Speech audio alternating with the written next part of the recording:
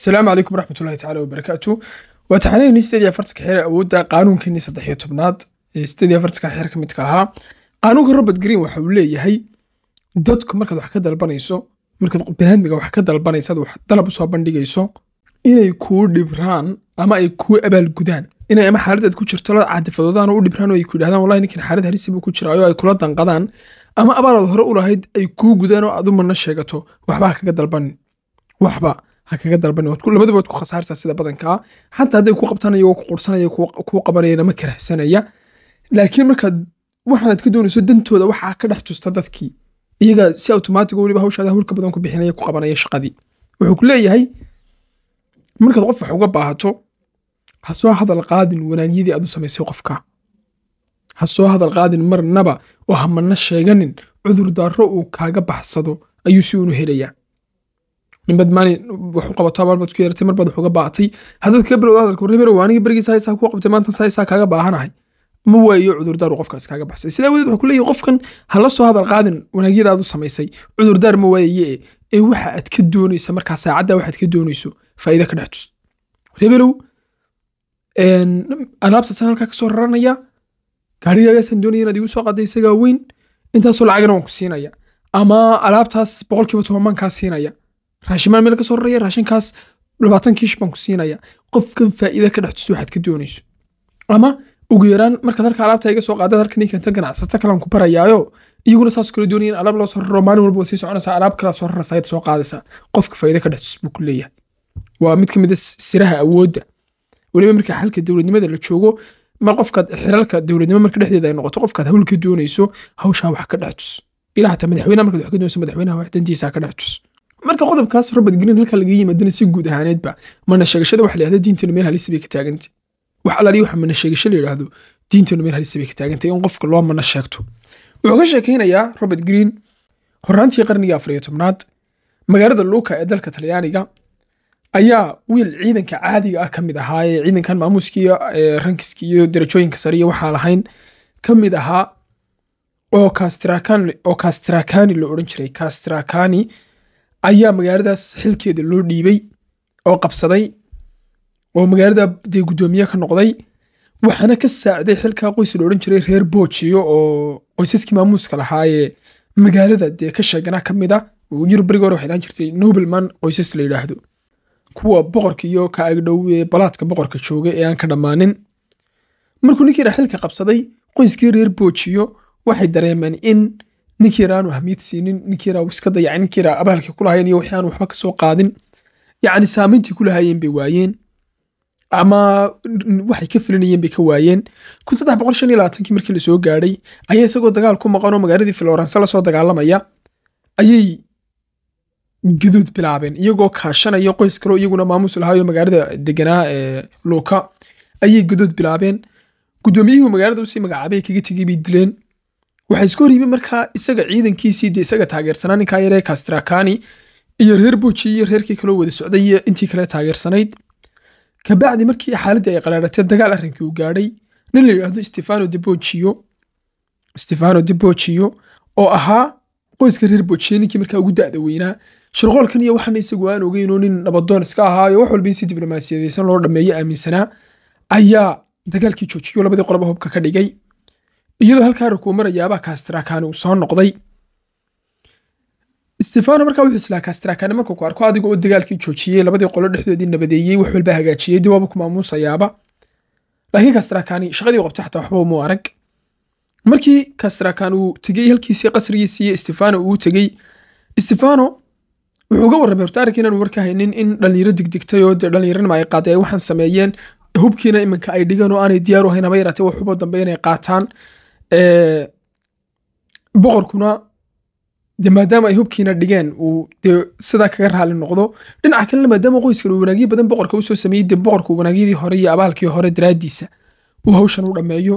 Waa saxa buu ku yidhi waan dhammaynaynaaye reer bojiyo oo dhan qoyskaaga oo dhanba britole galab ii keen beri galab baan wada hadlaynaa.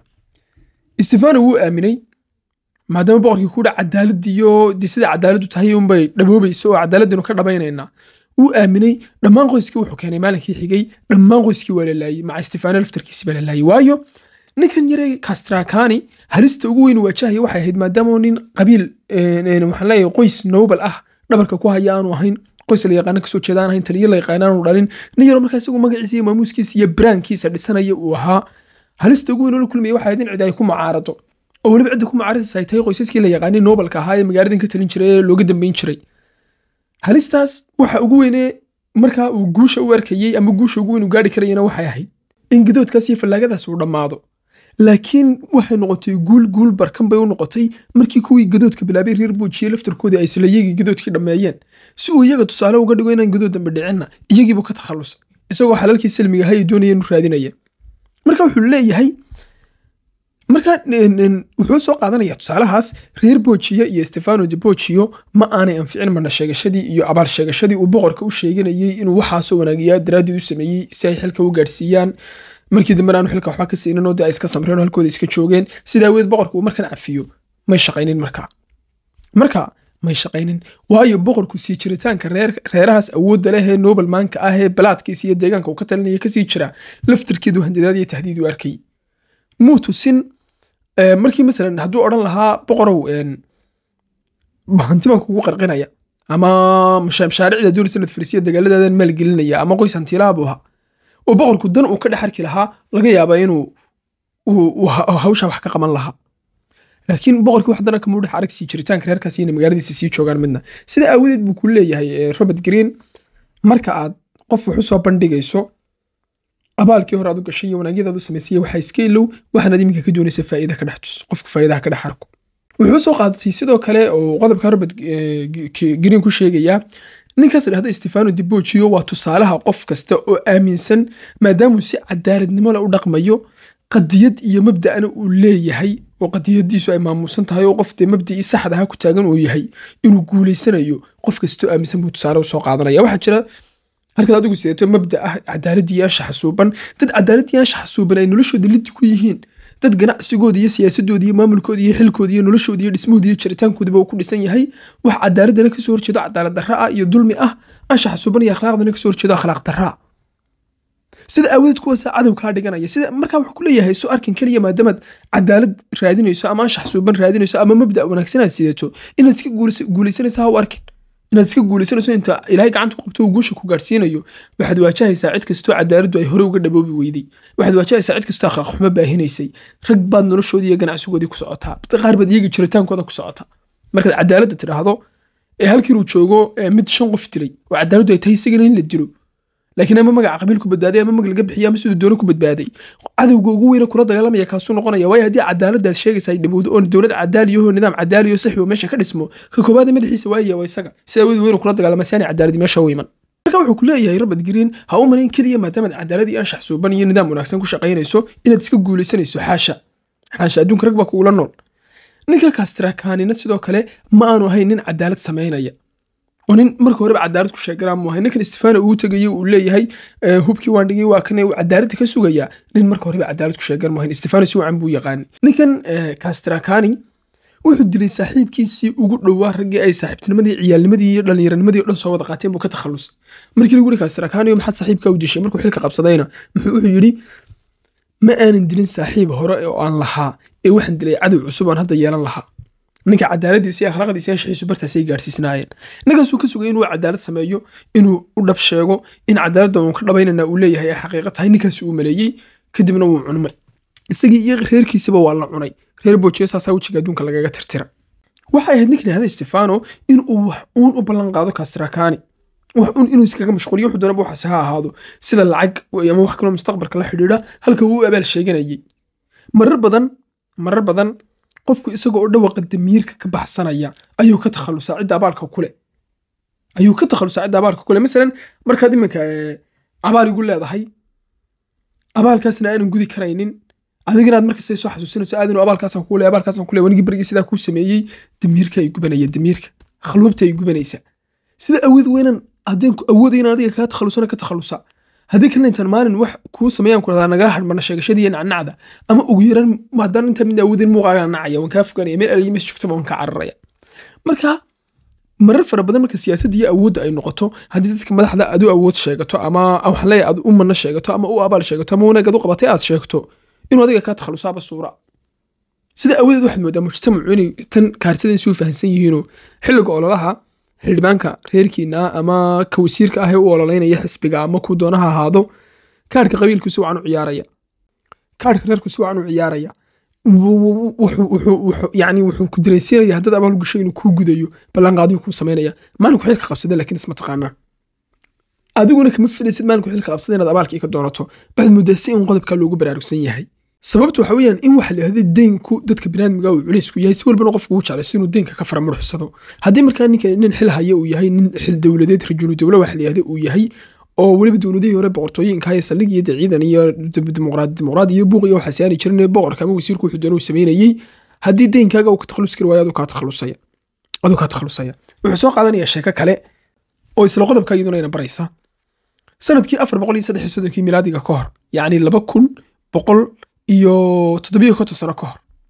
Toddobiyo konton sano ka hor. Laba kun iyo afar boqol iyo toddobiyo konton sano ka hor.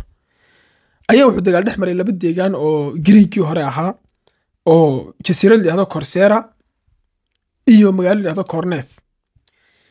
Dabeetana labadaas qole ee isleynayay ee korsera iyo cornethba waxay ogaadeen in dagaalka ay ku adkaanayso hadba ta'atanis magaalada layihahda imka caasimadda waa griigu ay la safato kadibna waxay dabceen inay kala dheerayaan labadiiba safiiray soo dirteen.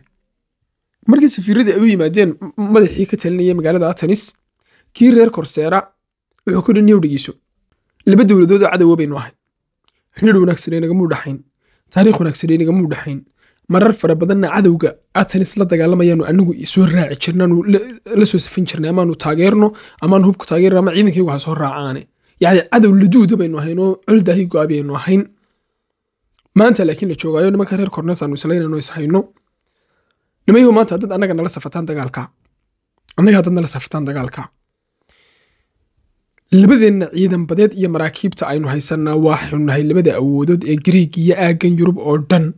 Marka ciidanka badda iyo awoodda badda ay noqoto ugu awoodan weyn leh idinkan ugu awood weyn annaga idin soo labayna.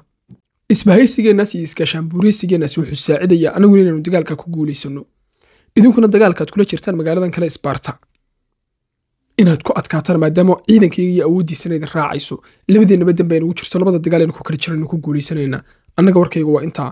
Afarkayga iyo waxaanu kuusoo bandhigaynaana waa intaa. Wuu ka baxay hadalkii. Safiirkii reer kornes baa hadalkii qabsaday. Safiirkii reer kornes wuxuu ka sheekeeyey saaxiibtinimadii labada dowladood ka dhexaysay atanis iyo kornes sidii ay isu bahaysan jireen sidii isugu hiilin jireen sidii isu taageeri jireen tagtadoodii siday u qurux badnayd waxyaabii wanaagsanaayo soo wadaageen iyo in magaaladan la yidhaahdo korseeradii meeshan la yidhaahda in kornes abidkeedba ay atanis taageeri jirtay laakiin tan korseere la yidhahda cadowgeeda ahayd oo bal cadowgeeda ay la soo sifin jirtayba. Haddii maanta ay atanis meesha la yihahdaa taageeri weydo kornestaa saaxiibada ay soo ahaayeenna saaxiibada kale atanis ay leedahay ayaa ka shakiyayo odhanaya soo kuwan saaxiibadood. Cadowgoodii u raacay sidaa awadeed makaanadeedii iyo maamuuskii ay lahayd ayaa gelgelinayso meesha ka baxaysa. Marka annagana la sifa buu yidhi.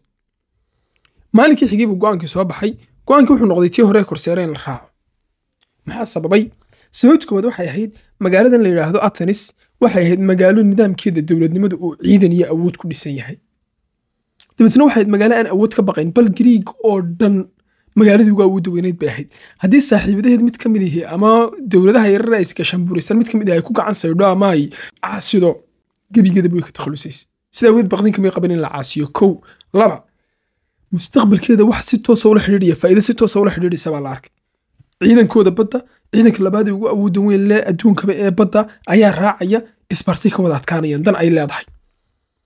Halka magaaladan kornes ay ka sheekeynaysay wax tagtadii ahuun marka wuxuu leeyahay mar walba taagantaada markaad qofka wax ka doonaysa ama wuxuu soo bandhigayso weliba meelaha ama shaksi ha ahaato ama xilalka siyaasadeed ha ahaato iyo dowladnimada markaad joogtide qofkaas waxa aad ka doonaysa waxaad ka dhex tustaa wax isaga dantiisu ay ku jirto. Sida magaalada atanis ay magaaladii ay saaxiibada ahaayeen kornes uga raacday magaaladii ay cadowga ahaayeen korseera ee iyadoo la dagaal gashay ayaa adigana waxa suura qofkaas inuu xataa saaxiibadii kaaga soo go'o dhanka kale wuxuu leeyahy robert green in qofkan abaal aad u gashay aad u sheegataa tahayd abaalka iyo abaalkaasaan ku galay ama waxayo waxaasaan kuu sameeyey. Si edboon oo yara anshax iyo edeblabad qofka waxaad ugu sheegaysaa inuu deenka iska gudo. Oo qof bilaadamiire yahu deynka lagu leeyahay iska gudiya abaalka lagu leeyahay. Sidaa weed qof kasta u necab in loo abaal sheegto ama loo mana sheegto. Xataa diinteennu ayin badan inoogu adkaysanaynaan mana sheegan. Oo xataa la yidhaha dad bilyanis dollar bixisaan oo laakiin aad mana sheegasho raacisaan waa ka kac weeyaan idinkeeda inta alla maadaama markaa magaalada atenisaan ay ka baqaynin saaxiibadeed inay ka tagaan maadaama cid kastoo ku gacan saydha ay awood ku qabanaysay ayr bay ka tanaasushay saaxiibadeed ah. Tagtadii markaa xasuusinteeda mar walba qofku waxa uu ka doorbidaa mustaqbalka soo socda waxa uu helayo ama mustaqbalka soo socda wuxuu ka sugayo. Markaad qof hawl ka doonayso hawshaa waa inuu wax ku yeeshaa. War hebelow haa waxay waxay waxasan ku hayaa hawshaa dhammee waa qaabka ugu wanaagsanad qof wax kaga dhammaysan karayso. Haddii markaad doonaysa inaad awood sare yeelato kaarsadaasi way ku anfacaysaa maadaama oo kolleyba cid aad u baahanayso waxaa doonta baad uga baahatid. Oo aad kaalmo iyo caawimo uga baahinayso uga baahanayso. Kaalmadaasi way ku caawinaysaa qodob kalaa jiro muhiima. Dadka bini'aadmiga psychological sidai u kala abuuran yihiin ayaa qofna waa qof maadi ah qofna waa qof ruuxi ah. Qof waa qof maadi ah oo wuxuu u janjeeraa dhanka waxyaabaha maadiga. Wuxuu halbeega noloshiisu waa maadi. Wuxuu yaqaanaa hebelow hawshaa iyo hawshaasaynu qabanaynaa boqolkiiba soddon lacagta naga soo gashan kaasiinaya ama boqolkiiba afartan. Hebelow waxay waxaasaynu samaynaynaa xilkaasaan kuu dhiibaya kaa dhigaya. Hebelow waxay waxaasaan qabanaya intaasaan kaa siinaya. Wax maadiyo itusoo taabsiya inaad u dhiibto qof yaqaana. Taasuu ku xisaabtamaa. Qofna waa akhlaaqiyo anshaxa iyo akhlaaqda wanaagsan buu ku taagan yahayo haddii waxaad u soo bandhigaysaa xataa aanay wax dantiisa ahay ku jirin wuu kula qabanaya maadaama anshax cadaaladda suuban waxaas ka shaqaynayo maadaama anshax iyo akhlaaqda suuban waxaas uu ka shaqaynayo shaqada wuu kula qabanaya meesheeda wuu kula dhigaya. Dadka markaa ruuxiyiinta ah ee aan dantooda mar walba eegana dantooda mar walba ka fikirin waa dad aad u tirayro sida lagu hera ay adag tahay. Laakiin dadka badigiisu waa maadi dadka badigiisu wuxuu yaqaanaa waxay waxaasinu qabanaa intaasaan ka helaysa waxay waxaasaa caynkaasa sidaa awadeed buu ku leeyahay qawaaniintan maadigaa u adeegso qawaaniintan ruuxigaa way jiraan dad fara badan marka tani waxaas waxaa hawsha ilaahay dartima waqafka u samaynaya maxaad ku darsanaysaa? Ku darsanaya waxa lalihi wuxuu ku darayo. Maalin walba masaajidada waddankana la dhisa dad baa dhisa. Dadka bahare waddankana la caawinaya dad baa caawinaya. Waa xaalado gaara iyo shakhsiyaad gaara. Laakiin marka meesha awood iyo ay soo gasho iyo suldo iyo authority systemku sidaa imka uu shaqaynayo uma shaqaynayo. Wuxuu ka warramayaa isaga oo qodobkaas danta daba taagan qarnigii lix iyo tobnaad dalka la yihahdo jabaan ganacsiga jabaan iyo yurub u dhexeeya waxaa gacanta ku haya waddanka la yihahdo bortuqiiska bortuqiiska qura jabaan gaadhi isagaa ganacsiga ka soo qaadi jiray iyo wax meelaha kale laga soo ururiyo yurub geen jiray. Kabacdina bortuqiiska baa wuxuu bilaabay in wadaadda diinfaafiyayaalahoo kiristanka katoliga faafinaya uu geeyo jabaan boqor la odhan jiray iyaasu markaa oo qarnigii toddobiyo tobnaad horraantiisii qabsaday ayaa cadaadi saaray diinta kiristanka la wado. Waayo diinta kiristanka dad badan oo caamaha way qaateen laakiin dadkii dowladda iyo xililka ayaa hal qof kamuu qaadan diinta gebigedaba inuu cadaadi saaraa buu damcay. Kadibna iyadoo loolankaasi uu jiro ayaa waxaa dalkii jabaan soo gaadhay nimankii holandiyiinta. Nimankan holand yidhahda iminka dhowr iyo tobanka milyan lix iyo toban milyan malaa meelaha yihiin baan malaynaya. Adduunka wax waxay ka yinaani jirin. Berbig gumaystayaasha waaweyn iyo dadka waaweyn adduunka laga dambeeya ka mid ahaayeen. Nimankaasaa yimi. Kadibna boqorkii iyaasu la odhan jiray saasuu eegay nimanna waa niman doonaya inay diin faafiyaan oo buuq kale dabada ku wato ganacsigan uun ka weyn oo waa burtaqiiska nimanna waa niman danaystayaal baxtiya ah oo iyagu doon buu samaynaya ama markab yar buu samaynaya lacagtiisu kaa qaadanaya. Xirfad sanacu kuu samaynaya lacagtiisu kaa qaadanaya bartaa ku soo dhaafi maayo kadibna boqorkii iyaasu la jiray jabaniiska ahaa dhammaan dadkii gri bahalka ahaa ahaa uu ka eriyay waddankiisa uu ka takhalusay. Holandiiskii baa soo hadhay holandiiskina isaan ku unbuu xiise ka dhigay. Isdhaafsi hoo ana isii ii sameeya doomaha dagaalka oo ibara oo xirfadaha ibaro xirfadahoodii buu ka faa'iidaystay. Xirfadahoodii ayuu ka faa'iidaystay. Wax midayin boqorka iyasuyo jabaan iyo iyo nimanka la yihahdo holandiyiinta netherland u dhashay. Wax mideeyey dantooda. Dantuna waa waa sir hadda isku raacay waa hunguriga. Dantuna waa waxa binaadmiga isu keena waa waxa binaadmiga isku raaca waa iyada. Waa iyada weeyaan. Yani qofka markaad wax dantiisa aad tusto dantiisa markaad waxaan ka dhex tusto waxan buu xataa ilaashanaya waxan buu kula wadanaya isku yacni laba qofoo dantiisa iyo dantii labadeeni danood baa isu yimiye ma wada dhisanaa mise waynu wada juminaa weeyaan markaa waa la wada dhisanaya waa la wada dhisanaya. Wuxuu sidoo kale tusaale u soo qaadanaya qarnigii saddex tobnaad markii ninkii jinkiskaan la odhan jiray uu soo baxay ee waddanka jeynaha la yidhahdo qabsaday. Jeyna markuu qabsaday saantu jeyna u eegay. Ayuu gebigiisaba wuxuu u arkay jeyna inuu ku wanaagsan yahay inuu noqdo dhul daaqsimeed weyn oo fardihiisu ay daaqaan. Jeyna wax kaleba inaanu ku wanaagsanayn kadibna wuxuu damcay wax alaaliya waxa magaalo jeyna uu leeyahay inuu burburiyo wax alaaliya waxa dad joogana inuu laayo. Kabacdina meeshu ay noqoto dhul daaqsimeed oo uu ka baxo xoolahoodu ay daaqaan iyo fardahoodu ama calafka looga soo guro. Kadibna nin la taliya uu ahaa oo wuxuu ahaa nin garanaya macnaha dowladnimada iyo xadaaradda iyo ilbaxnimada. Saa weegay wuxuu arkay haddii ilbaxnimada dhowrka kun ee sane soo jirtay jayna la baabi'iyo in wax badan ay la baaba'ayaan. Kadib talusiya wuxuu yidhi boqorow kingiskhaanow inaad dadkan layso wax kale inooga faa'iido badan baa jira haddaynu nahay tataarka ama adigu haddaad tahay boqorka kingiskhaan kaaga faa'iido badan haye? Intaasoo milyan oo qof weeyaan dadkan meesha jooga jayniska ah. Wayna kaa baqayaan saacaddan. Haddii aad cashuuro ku waajibiso qof kasta madaxiisa aad hanti dul dhigto lacag iyo dahab aan caadi ahayn ayaa inooga soo xiroonaya. Markaa halayna daan noloshu sidaa ha u socota cashuurtaana ka qaad. Jingiskhaan intaasoo milyan oo qofoo jaynaysa markuu saa dusha uga eegay wuu ku qancay fikradda intaa wuxuu ka dambeysay dahabu musaa uga daldalanayay faruhu ka qaaday. Haddana wuxuu jingiskhaan go'doomiyey magaalo kaloo daraf ku taalloo jayna ka mida goodoonkii baa ku daba dheeraaday. Markii magaaladii markuu xoog ku qabsaday baa wuxuu damcay wax alali wax magaalada joogay inuu madaxa ka guro. Isla ninkii baa u yeedho wuxuu niyow dhegeyso. Dowladdan weyna aadkoo ballaadhan inaga dhisnay. Xirfado fara badan inaynu yeelanaynu u baahannahay sida aawadeed magaaladan waxaa jooga wax alaaliya wixii xirfad xirfad yaqaanee xirfad gacanta laga qabtay yaqaanee nijaar iyo wastadii nooc walba lahaa ee ka soo baxsaday jeena intaynu haysanay la dagaalamaynay ayaa magaaladan isugu yimi. Markaa dadkeeda halaynine aynu ka faa'iidaysano xirfadlayda aynu ka faa'iidaysano ninka jingiskhaan waxaa lagu qanciyey luuqadii danta iyo maslaxadda in lagula hadlay luuqaddaas aanu fahmayey sidii buu ku daayey nimankii. Wuxuu ku leeyahy markaa ninkan robert green qaabka ugu wanaagsan ee aad awood iyo adduunba ku kasban kartaa. Waa inaad dadka ku qanciso inay ku taageeraan inay iyaga laftarkooda guulu tahay inay iyaga laftarkoodu ay guul ku gaadhayaan inaad aniga taageertada aniga ila safatayd guul ku gaadhaysa markaad qofka ku qanciso ayaad awood iyo adduun iyo dhaqaaleba aad kasbanaysaa.